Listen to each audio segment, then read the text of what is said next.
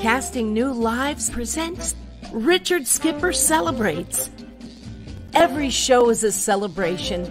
Each show, Richard delivers the artists you love, showcasing what makes them unique. Never gossipy. The antidote to a sometimes hectic world. Now, here's your host, Richard Skipper.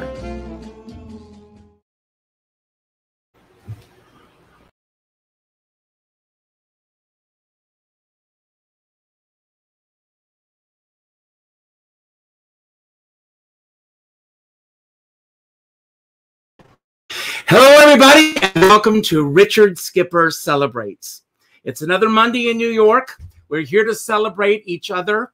We're here to celebrate whatever's going on in the world, and boy, is there a lot. I think that we, it's been over 180 days since we last had a show on the boards, Broadway theater, whatever. Today, we're going to be celebrating Howard McGillin. Now, I have had the good uh, pleasure of seeing Howard McGillin in She Loves Me. I saw him in uh, Kiss of the Spider Woman and The Mystery of Edwin Drood. Now, I have something to confess. Howard McGillin has not arrived here at the studio yet. So, as soon as he gets here, we will bring him on. Joy Lober, if you are here, uh, please uh, let him know that I am on the air and I'm waiting for him to arrive. So he may be having a problem on his end. Who knows?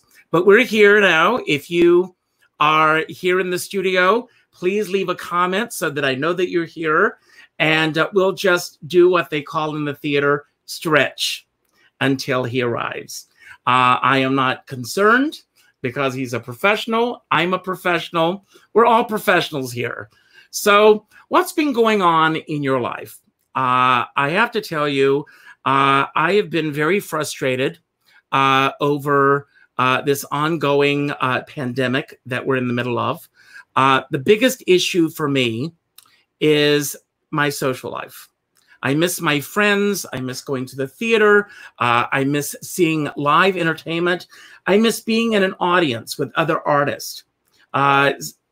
you know, sitting with my friends uh, going to the theater, celebrating what's on stage, uh, celebrating uh, everything that the theater has to offer. We have no idea how much longer this is going to go on. Uh, the only way that I think that we can all get through this is to take every day one day at a time. That's all we have. We don't have tomorrow. We don't have next week. We don't have next month. We don't have next year yet. What we do have is 24 hours that we can get through the best way we can. And I think that if we all focus on what we need to do to get through this pandemic, one day at a time, we will all succeed. Uh, you know, it's very interesting. I am starting a new group, uh, and we are going to be. Uh, uh, there's Howard now. He has gotten here. Hello, Howard. Richard, I've been waiting in the wings for my big my big interview with you, and uh, and uh, for some reason you weren't picking that up. I was sitting in the waiting room at uh, at Streamyard. Well, the important thing is that you're here now. I was just rambling on until I am so here. sorry about that. No, well, these things happen. First these all, are things that do happen. Yeah. Uh, I, you know, every time before I go live, I just say a little prayer to the internet gods that exactly. That they're going to be with us and we're going to get through this. Okay, so I I can see myself on Streamyard on my computer. Is it better that I'm on the laptop or do we just continue like this? Uh, you look great. You know, so uh, whatever you're doing, you're uh, doing it. okay, good. Uh, All so right. Well, then here we are. Uh, where are you, by the way? Great house. Uh, oh, thank you. Um, we have we have a little country house out in Long Island, and and we have been very lucky to be out here. Oh, well, I'm in so, Rockland County, so I know exactly what you're Oh, okay. So I want all this madness. I want to begin by asking, how are you? How are you in the midst of this craziness? Uh, I'm doing okay. I think, like everybody, I'm I'm struggling with it from day to day. It's it's it, it's it's just a, a, really really hard time for everybody. Mm-hmm. Um, of course, the entire business has come to a grinding halt, and uh, you know we're emotionally up and down. Uh, you know, just it, I take it day to day, and I just try to I try to fill my day with as much meaningful uh, work as I can. Uh, you know, self generated stuff. Mm-hmm. Um, and well, uh, and that's it. I want to ask: Do you have any type of a structure in your life right now? Well, my structure is basically uh, a kind of routine that I've worked out. Um, I do a little meditation in the morning when I get up, which mm-hmm. really helps kind of center my day for me. It's just a 20 minute thing. I really find it helpful. Um, uh, I've been doing some exercise. Uh, I do a, about an hour's walk. Mm-hmm. I go for a walk and um, just to get the blood pumping and try to try to keep my mind focused as well. Um, I'm studying Italian, which I have always wanted to do, so I've certainly got plenty of time right now to do that. Um, you know, stuff like that. Uh, and we're working on on putting together this Broadway Mentors program of teaching uh, via Zoom. I think is wonderful, and we're going to talk about that a little bit. Yeah. Um, yeah. Joy Lober has done an amazing job with the Broadway Mentors program, which is really sponsoring this program today. So we will give a shout out to them and talk about the wonderful work they're doing. Absolutely. Um, I want to go back uh, to March 12th because that's when yes. the lights of Broadway went dark. Yes. Uh, what was your schedule like at that time? Did you have something I, coming up that you were working on? Where were you? Yeah, uh, both. I, I had just finished Charles Busch's play, The Confession of Lily Dare, at the Cherry Lane Theater. We had just closed the week before. Um, I think we closed on the 8th or the 9th of March. And um, then all hell broke loose. So uh, that was that was the thank God we we were scheduled to close that day. You know, we didn't we didn't have our run cut short. Um, and uh, you know, I had some some cabaret gigs coming up. I I was going to be singing at Helsinki on the Hudson uh, with Lee Tannen uh, up there doing a, a, cabaret night of my own, mm-hmm. um, which of course got canceled. Um, I was going to be going to Barcelona to do a, a solo show for a for a big a big bank. Uh, that was that really hurt. mm. uh, but um, you know these things happen, and you roll with it. And um, so you know, I I I uh, luckily during the spring I was also teaching. I teach at NYU, and um, so now, are, you doing, are you doing that virtually now as well? Yes, yeah we so we went to virtual that that week, March 12th. Um, and so we taught um, and held classes virtually for the rest of the semester.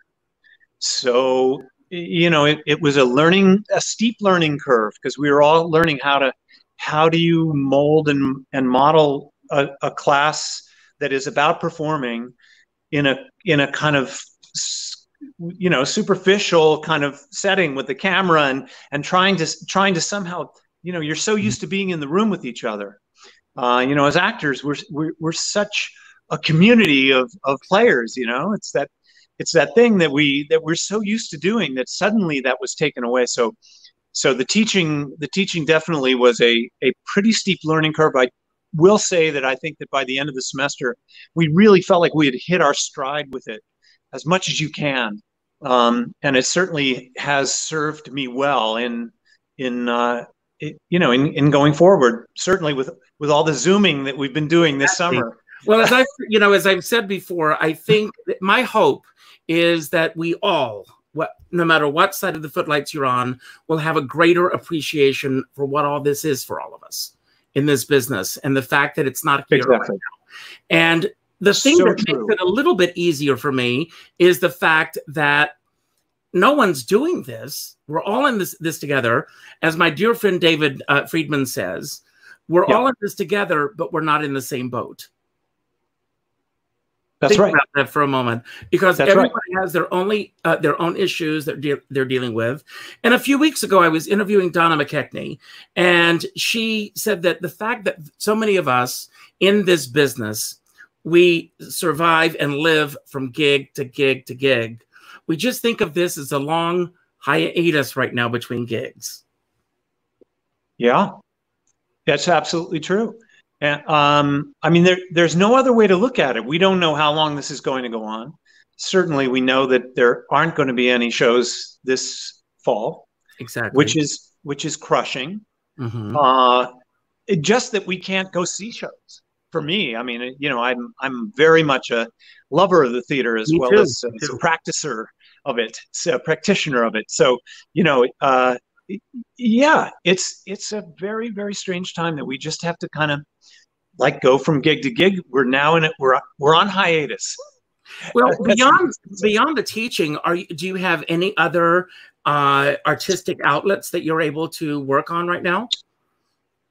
Uh, not really, Richard. I mean, not really. Like I said, I try to fill my day. I read. I I uh, study my my Italian verbs and conjugations, and you know, I um, you know, we we're just we're just doing the best we can. Now, I'm Cooking, gonna- Now, lots I'm, of cooking.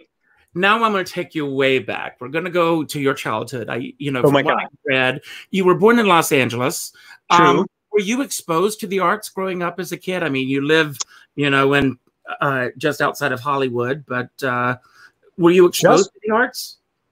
The only exposure I had to the arts was, of course, LA is a giant movie set.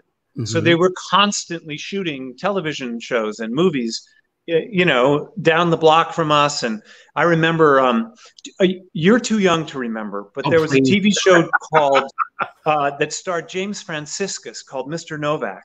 Mhm. I don't know if you remember the show. remember that? I certainly do. Oh, you do. I do remember. Yes. So, so they shot at a high school, our local high school. So we would jump on our bikes as kids and race down the hill whenever we heard that they were shooting an, an episode, and we'd hang around the set to try to get a glimpse of James Franciscus and and the other actors and see how how a movie or a television show got put together. So it, it's probably not surprising that I ended up first starting working as an actor in Hollywood Mhm. uh, uh, because I lived in LA as a kid. We moved to Santa Barbara um, when I entered high school, and uh, I went to college. I studied acting. I went back to LA. Um, but you know, I had seen a couple Broadway shows. I'd made a trip or two to New York over the years, but uh, and of course had fallen head over heels with Broadway musicals. Mhm. Um, luckily, our our high school program had a great arts program. We also had a great youth theater in Santa Barbara, where we got to do two musicals and a straight play every summer. That's amazing. Can you imagine? I and mean, most us don't have that exposure, which is a huge, huge shame in this country. Oh, I know, I know, it truly is. So, so I had had a great deal of exposure to that kind of thing before I kind of the the seed got planted, the the bug.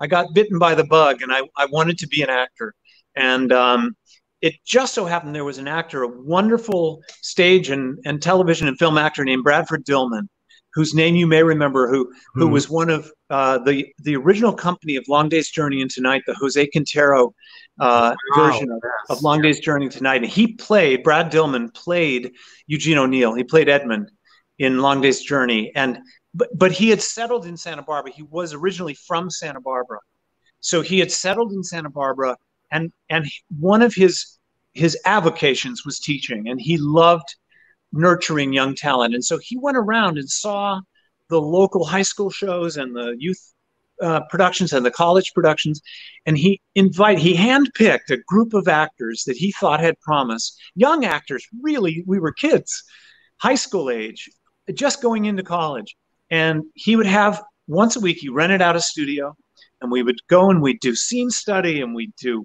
exercises from the actor's studio, you know, because he he was an actor studio guy, and um, so we had a great, great kind of a beginning of a of a training from him. And about how me- old were you when this was going on? I was I was from, I, from 17 to about 20. I studied with Brad. And, and, uh, and do you still apply those techniques that you learned from him oh, uh, with the work that you're doing now? Absolutely, without question. Absolutely. Was the very first beginnings of the understanding of acting as being a craft and something that required great discipline and and and hard work and um, applying that hard work on a on a regular basis to your to to your work before you even show up at the rehearsal right? So that was a that was a huge huge beginning for me. And mm-hmm. it and i was so blessed that he said to me i'd like to take you and introduce you to my agents in la which I, I was literally had just graduated from college. I was 21 mm-hmm. and uh, he took me to la and introduced me to his agent and his agent signed me to wow. my first agency contract. And he said he said i he said um, i think the universal contract uh, players program is is a perfect fit for you. And i'm going to send you over there to meet monique james who was the one the woman who ran the, the program at universal.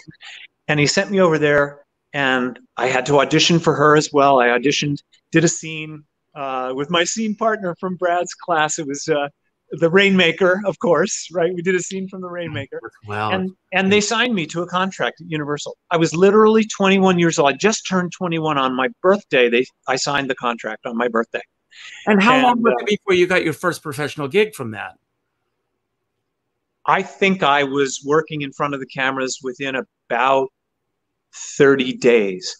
Wow. They started sending me out right away. They, that's what they do. The the whole this no longer exists by the way richard. This is a, mm-hmm. an antiquated system. It was one of the final kind of dying gasp, gasping breaths of, of the contract system in hollywood. Universal was the only studio that still did this. And they had they had like a small little group of actors that they were hoping were going to land a big series and pay off big for for the studio because the studio was was paying you a weekly salary. I, I won't tell you what I started out making there. It was peanuts, literally peanuts. Mm-hmm. But but I was there five and a half years, and I did. So obviously, I was doing something right. They were they were putting me in shows. I was getting cast in shows, uh, and I worked in I worked in every major series that was being shot on the Universal lot. Um, my first show was uh, in the Six Million Dollar Man. I pulled a knife on Lee Majors. I was a kid with on a motorcycle who'd stolen a motorcycle, and I pulled a knife on Lee Majors, and and then I was I was in Columbo, and I was in uh, Rock Hudson's show, McMillan and Wife, and I then I played Rock's son in and Lee Remick's son in a mini series called Wheels that was a huge break for me mm-hmm. because it was a it was a pretty principal, you know, pretty leading role in in this mini series with Rock Hudson and Lee Remick and a cast of thousands. I mean, Ralph Bellamy was my grandfather. Oh my, wow! You know what I mean? Uh, it was a Capabello. Wow, that's great. Uh, it was it was truly truly an amazing experience and and taught me a lot about working in front of a camera. And it, it, it gave me my start there in Hollywood. But I well, wasn't singing. Ask you about this the space that you rehearsed in uh, as a kid. Um, yeah what was the space like that you were working in and was it a difficult transition for you to go from working in that space to doing film work? Well, uh, the state, you, the actual acting class. Do you mean yes. because? Yeah, because we you know, once uh, you know you were on a on a small stage, or once I got to LA, I then started studying with a wonderful teacher named Jeff Corey, who um, was a fantastic acting teacher who taught a lot of major stars along the way. And Jeff had a had a studio out in the valley and it was really basically just a black box um, kind of theater in the round kind of thing where you were basically working in a in a small theater space that really wasn't that much different from working in front of a camera because you were you, you, the, you could reach out and touch the audience on either side on all sides. So so it wasn't a huge transition although i will say that the first couple of performances i gave oh my god uh, you know I heard a director once say, not about me, by the way. He once said that actor would break the camera. and I, I, think I think my acting probably broke the camera on that first six million dollar man. I was I was I was acting up a storm. I'll tell you that. I learned how to do that.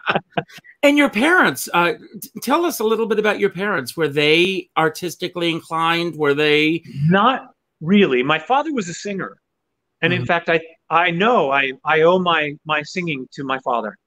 He had a gorgeous voice. He was not a professional. He'd never done anything professionally, but he was in the glee club in high school and he was in shows and stuff and he used to give my brothers and I would would kind of stand around the the record player and he would put on a record and he'd say okay now drop your jaw you know loosen up you know and he would he would kind of give us our very first he gave me my very first voice lesson um, and so and truly I, I i think genetically i i got his voice i was given his voice and what about your brothers? Do they sing as you know? As, well, my well?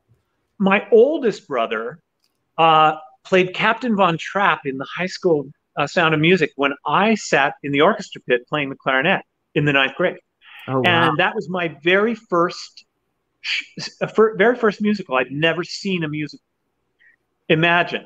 So there I was, and uh, playing the clarinet and looking up the stage, and obviously sitting through rehearsals and everything and thinking that looks like a lot of fun. Mm-hmm. And uh, so the next year I auditioned to be on stage in the musical and I got cast and and never looked back. What was that defining moment for you? That moment where the light bulb went off and you said, This is the path that I'm on? Wow. that's a really great question. I wish I could name one, but I do remember being in rehearsal I was cast as Joe Hardy in Damn Yankees in mm-hmm. the in my junior year, right? And uh, we were rehearsing um, some group number. Maybe it was the opening number. Mm-hmm. No, it wouldn't have been that because I wasn't in that number. Anyway, we were rehearsing some group number, and I just remember thinking, I don't know how much happier a person could feel than I feel mm-hmm. right now the, the, and again talking about community the community of players and everything there's something about that all of us in the same room breathing the same air and finding the same inspiration to tell this story that i think has stayed with me ever since.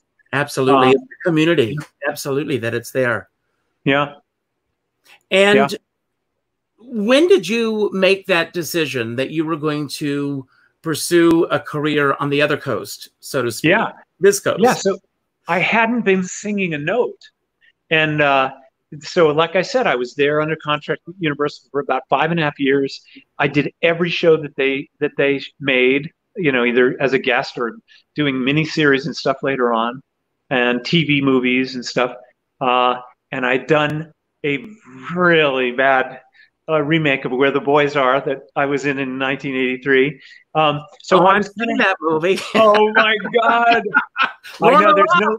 Yes. There's no living it down. You know, the, these things, they don't go away, unfortunately. Well, Howard, anyway. I, I, will let everyone know it is available on, uh, it's streaming on Amazon Prime.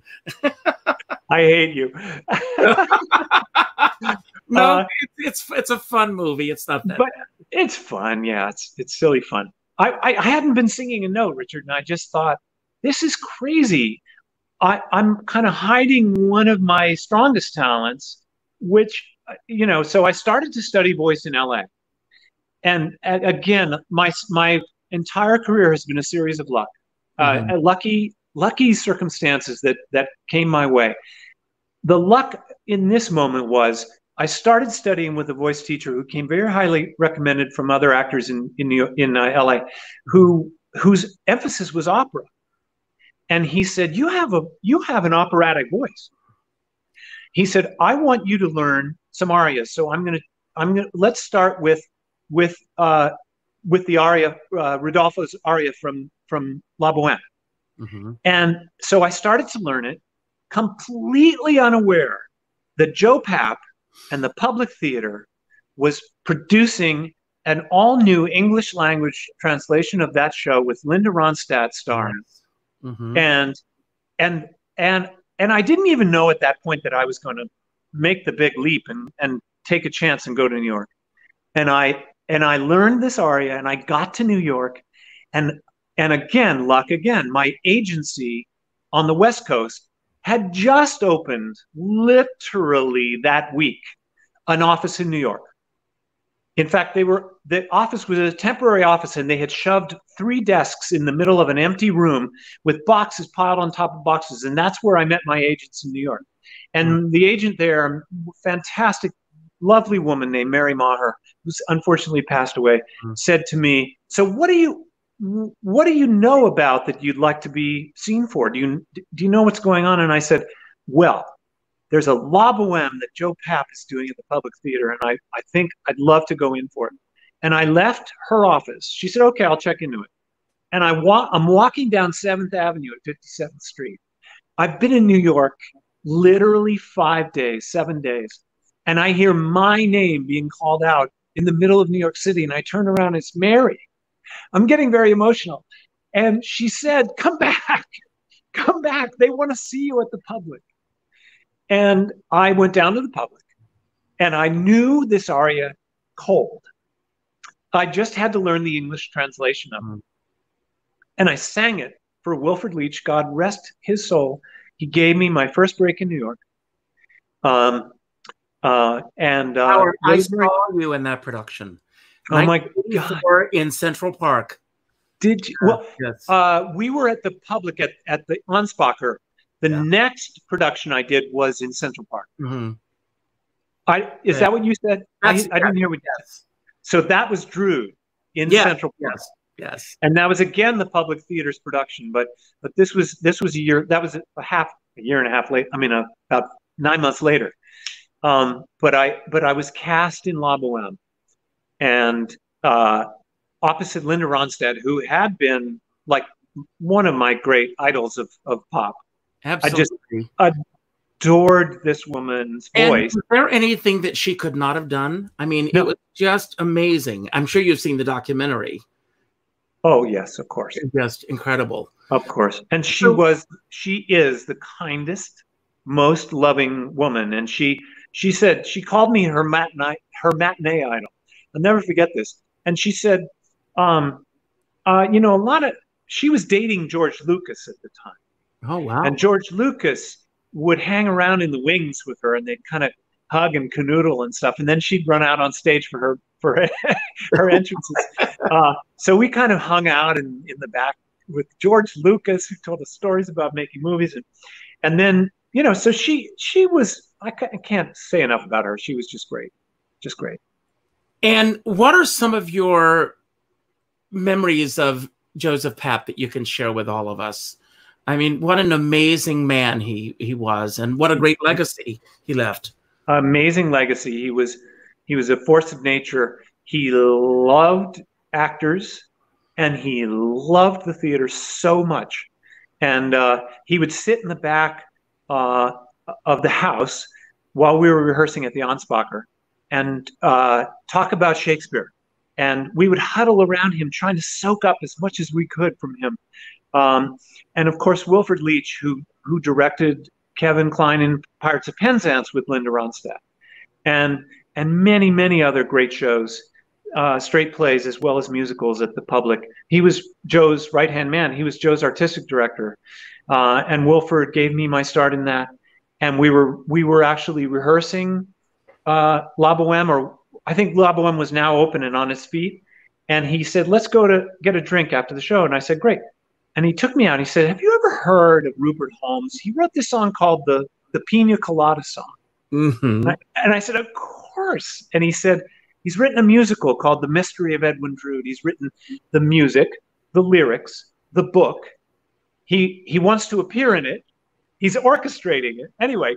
Rupert, of course, a genius, mm-hmm. uh, and and Wilford said, and I think you'd be right for the the leading character who's who's an opium addled, you know, obsessed voice teacher who, you know, I said, really, you're talking to me? And uh, he hired me to play John Jasper in Drood. And uh, it was, of course, a great, great break for me. Uh, it wasn't what, my first. What are some of your fondest memories of doing theater in Central Park in New York? Oh, my God. Well, I really literally, you know, I talk about that moment in, in, uh, damn Yankees in high school. Uh, this, of course, had this, of course, trumped that. Pardon the expression, Mhm, yes. because I was standing center stage at the Delacorte Theater. There was a full moon behind me. I'll never forget this moment. I was singing "A Man Could Go Quite Mad," this great, great kind of opening aria for John Jasper in *The Mystery of Edwin Drood* that Rupert had written, and I had this fantastic costume of of um, of uh, this choir robe. It was this big black choir robe that was blowing the wind out, coming off the lake there. The you know behind center behind uh, the Delacorte was blowing. The full moon behind me, and I'm singing. A man could go quite mad to an audience at the Delacorte Theater, and I thought, well, I guess it doesn't get much better than this. No. And was there ever a time, you know, while you were, I mean, in your early years in New York, where you struggled um, between jobs or anything? I mean, it, it sounds I- like this incredible journey uh, from Los Angeles to New York, and you know, you don't start out better than that. You don't. I have to tell you, I struggled more in LA, which maybe was trying to tell me something. You know, I certainly, I certainly once I once I hit the pavement in New York, literally, I started working, and uh, it's I, I'm I'm so blessed and just amazingly lucky that one thing after another came my way. I I hadn't finished La Boheme hmm when Mr. Sondheim came knocking, and I was cast in in uh, Sunday in the Park with George. It, it was my first Broadway show, hmm and I understudied George and played the soldier in a show that I had been sitting in L.A. that Tony Awards just before that. A couple months before that, I was sitting in in L.A. on my sofa watching the Tony Awards and watching the the company of Sunday in the Park doing the the title number, and then suddenly I was I was in the show. I mean, it was.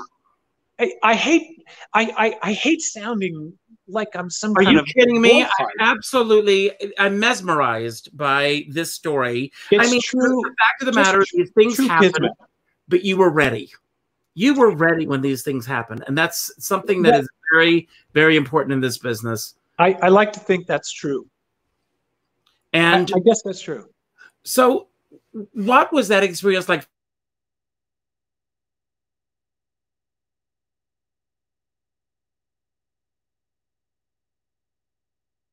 So you've frozen, Richard. I don't know if you can even hear me.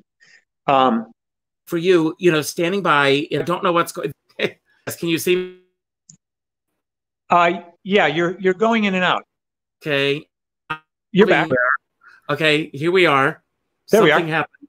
Okay. Yep.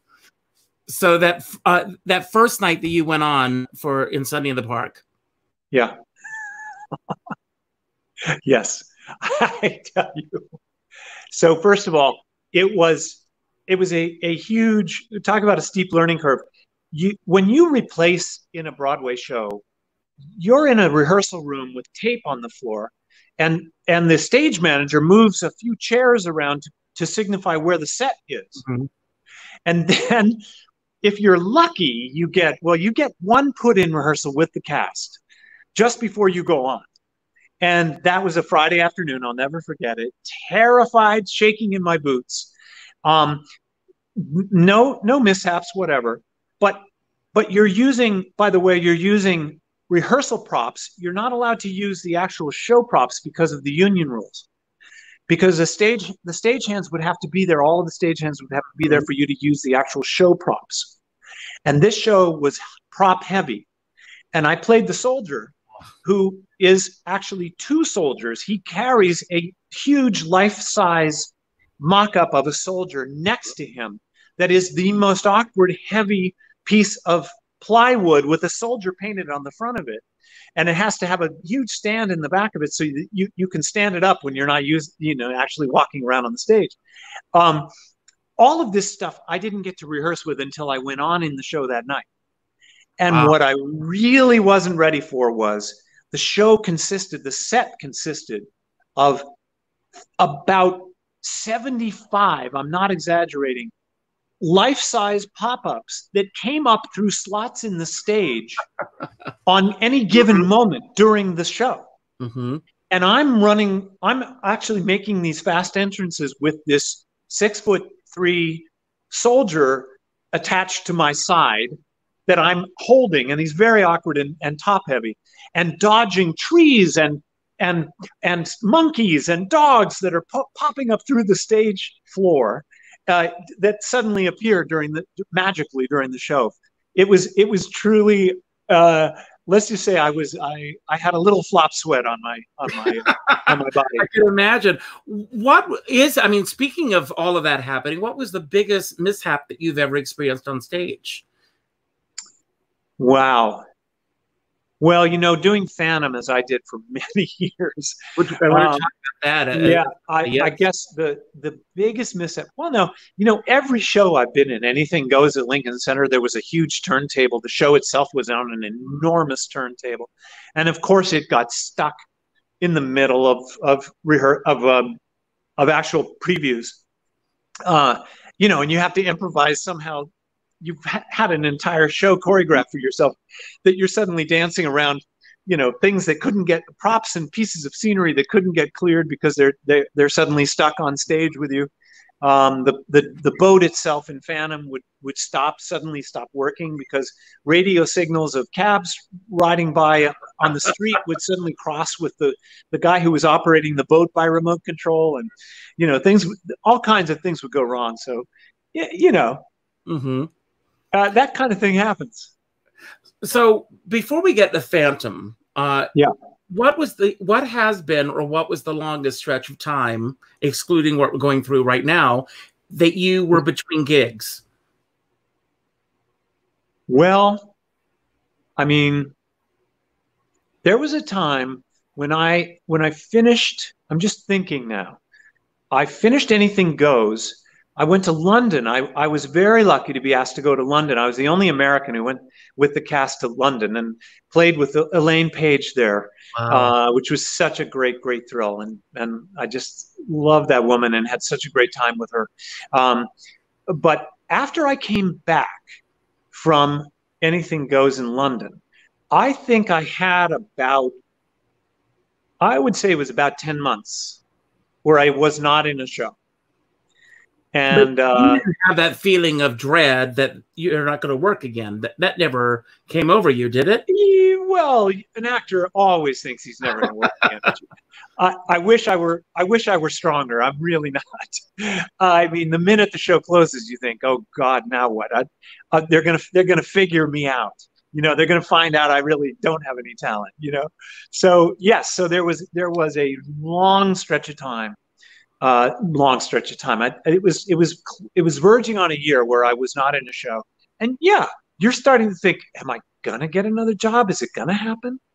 Uh, and luckily, I was cast to take over for Mandy Patinkin in Secret Garden, mm-hmm. and I went into Secret Garden and I worked for the first time with my love Rebecca Luker, who I know we're going to talk about. Yeah, we're going to talk hope, about Rebecca. Yeah, absolutely. Uh, that was my very first time working with Rebecca. Um, again, replacing in a Broadway show.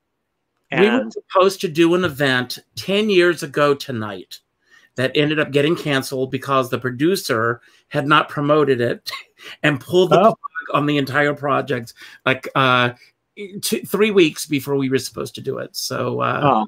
never got oh. a chance to work with Rebecca, but uh, uh, you know, the few times that we've met, she's just the nicest person in the business. Just love her.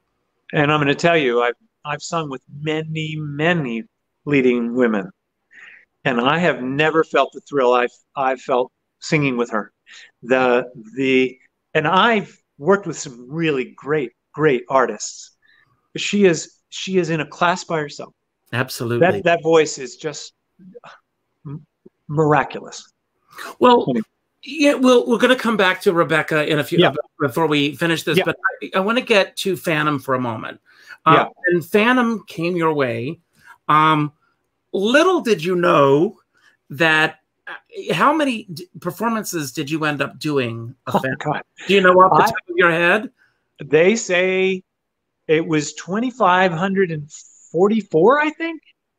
It was that's 2,544 performances. I have to say that to kind of break that down because it's insane that anybody would do something that long. But I have to tell you, Richard, I yes, there were times where I thought I was going to go out of my mind. You know, you sign a contract and and then you sign an extension and another extension. It, of course, it was hugely lucrative to me to do it, but it was such a thrill to play that role and to ride that that wave every night. It was uh, I I've had I've ha- I've been blessed with a lot of long runs. I've done a lot of long runs. So what's the, secret, uh, what's the, the secret for you in terms of doing a long run? What what is your discipline? What is your routine?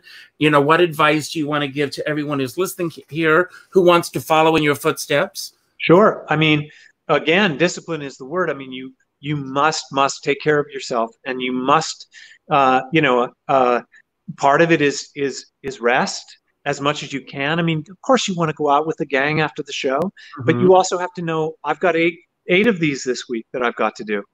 There's there's no alternate phantom. Uh, so you know you you you know you you have to learn how to pace yourself. Um, you know, I love I love to go out as much as anybody, but I also know that that the, the responsibilities there. You have to you have to show up for your job, um, and then it's it's really about it's really about I mean, look, acting is repetition. Mm-hmm. Now, a lot of my actor friends who have not done a long run like that will look at me and say, yes, but there's repetition and then there's repetition.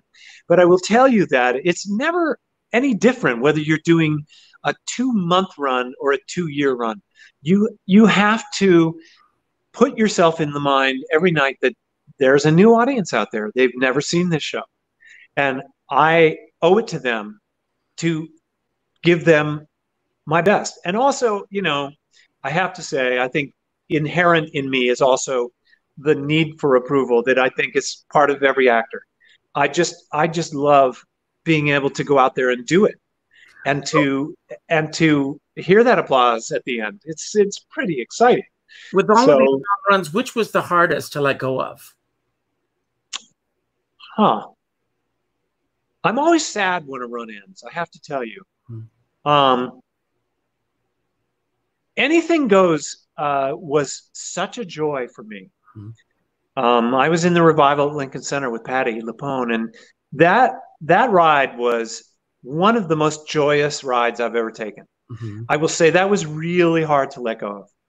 But mm-hmm. I'm emotional with every show I do. I mm-hmm. I get very very attached to the the company, to the to the character, to the telling of the story. So I, I just, you know, you realize how lucky you are when something is coming to an end. I think that's true of, of what we're experiencing during this whole COVID thing is that is that we now, as you said, we now appreciate what we had and what we will have again. I'm absolutely sure. Um, in in terms of the communal event that is is theater. Well, I'm going to um, ask you a question that I know you don't have the answer to, but yeah. let's say that you do have the answer. How do you envision the theater coming back? Uh, slowly. Um, but beyond that, Richard, I wish I, I had a crystal ball. I, I don't know. Mm-hmm. I, I think there's I hate to say it, but I think there's going to have to be a vaccine first. And I think people are, before people, I don't know, but it's just my sense of things is that people are really reluctant right now for good reason to gather in a, in a space sitting closely with other people. And, and this whole idea of being able to socially distance while sitting in an audience, seeing a show, I just don't see how that works. Mm-mm. Mm-mm.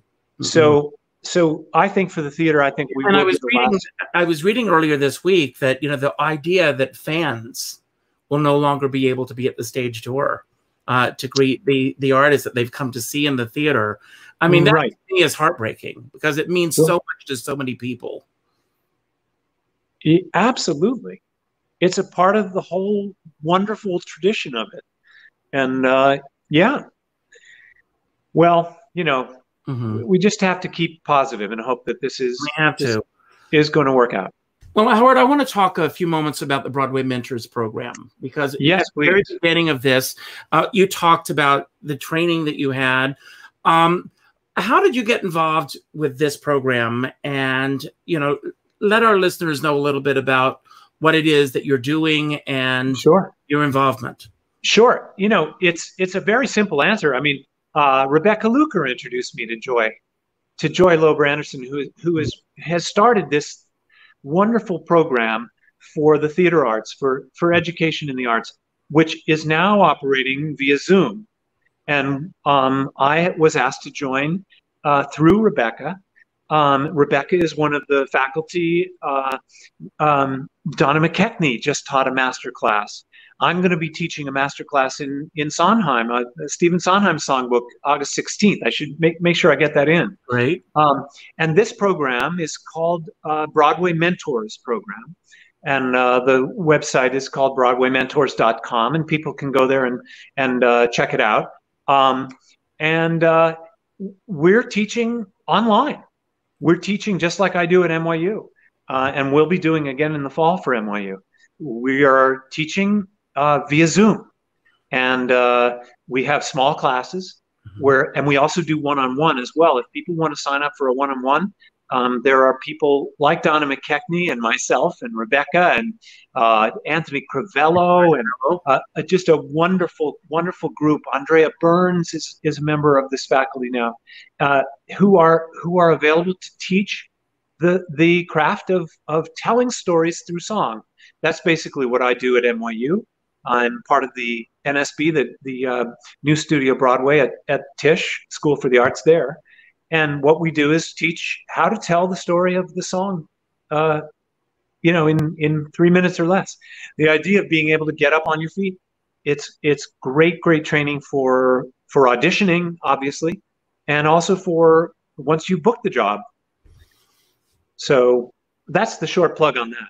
And you know, and of course, we want to raise money for Project ALS for Rebecca, uh, who Absolutely. we love very, very much. I've never heard anyone say a negative thing about her. Uh, she's no. one of the most lovable people around. Um, can you tell our listeners and our viewers a little bit about Project ALS uh, from what you know about yes. it? What I know about it is that they have been, uh, um, Becca has kind of joined them and joined forces with them. She did a wonderful little concert with Joseph Thalken, who is also my accompanist. Um, in fact, Becca and Joe Thalken and I have done many concerts around the country. Uh, Becca and I have sung in Tokyo. We've sung uh, in, on Broadway, of course, and, and uh, all kinds of places. And uh, Becca joined the ALS team uh, at uh, Project ALS to help put forward this wonderful new trial drug that is apparently making great inroads called Prosetin, I think it's called. Yes. And there is uh, there is a a it's just a wonderful organization that I, I, I bet I can see it running along the bottom here.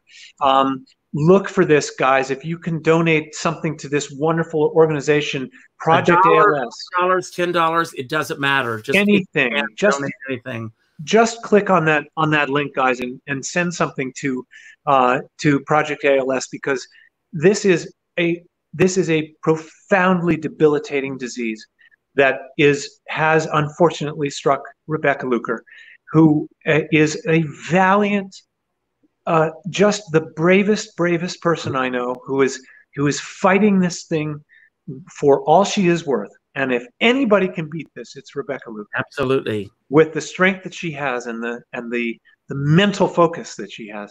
I, and I can tell you from having shared the stage with her many times, I know this woman very well. Um, she's gonna she's gonna make it. Um, but but in the Did meantime, prior to working with her in the Secret Garden, I met her uh, backstage at the Secret Garden first day of rehearsal. Mm-hmm. Um, no, I did not know her. Um, but uh, I knew how special she was, um, uh, and um, have been so lucky to be able to to share the stage with her as much as I have over the years. And is there anyone in this business that you've always wanted to work with that you just have not had that chance to work with? Oh God, sure. Um, of course, I'm blanking right now on anybody. Uh, many. You know, uh, you know, I I uh, I guess I'm, I'm trying to think about about people that I've that I've truly loved in the theater. Um, I've worked with so many people. I feel a little bit guilty about that. Um, uh, I was just I was just reading about Audra McDonald today, and she was in the Secret Garden. She had just come out of out of Juilliard when we worked together.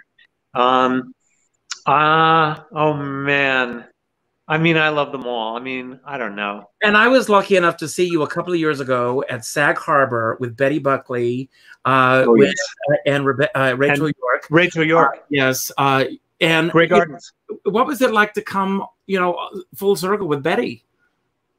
just the best, just the best. I mean, I will tell you, um, you know, I I I sing the praises of Rebecca, standing next to Betty Buckley singing during Drood. We sang a great duet called Two Kinsmen. Mhm. And every night when we would start to sing that thing full voice, I could feel my entire body, every cell in my body vibrating from this the brilliance of Betty Buckley's sound. She that voice was like it was like singing next to a 747 taking off.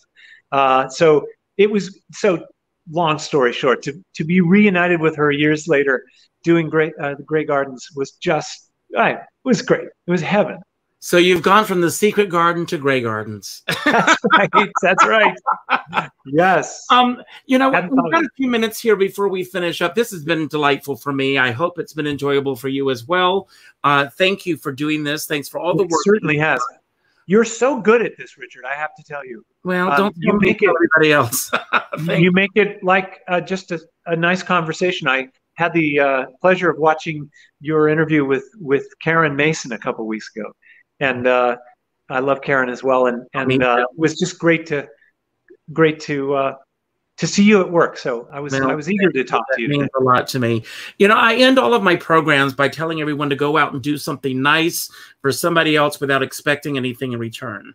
Um, Yeah. What I'm asking everyone to do today is go to your Facebook page, go to your list of your friends, see who your ninth friend is. I'm going to ask you to do the same thing. Okay. call. Just say, I'm reaching out to say hello. How are you? I hope that everyone who's listening here uh, will do the same thing.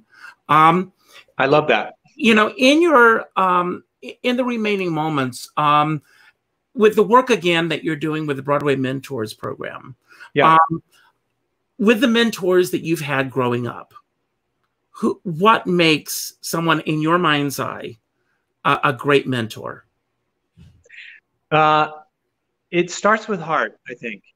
It starts with the heart being in the right place, and it starts with someone who whose heart is in their work, and and I think that that's a that's kind of a basic starting point for for the experience that I've had with mentors. Um, they they did this selflessly. They did it for the joy of of helping somebody else learn something.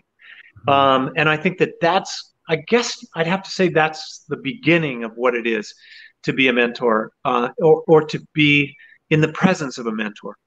Um, I have had such luck in my life with, with mentors who who instilled so much understanding in me of stuff way beyond what the craft is you know the craft is one thing you can learn how to plant your feet and not sway back and forth and not use your hands too much while you sing.